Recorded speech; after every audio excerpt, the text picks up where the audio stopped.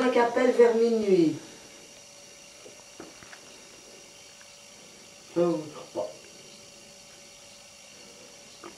Bon, les urgences, bien sûr.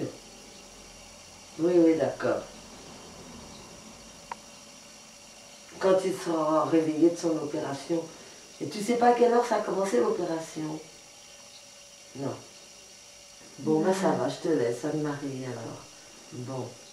Comme je te rappellerai pour avoir des nouvelles, hein. Ça va? Allez.